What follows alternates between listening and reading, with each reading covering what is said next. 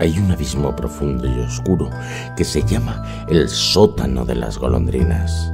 En ese inframundo fueron encerrados una maestra, un empresario y un médico. Las pasiones son tan intensas que se desatarán los mitos prehispánicos, las plagas de Egipto y las epopeyas helénicas, reviviendo dos imperios dormidos en un fascinante locus amoenus.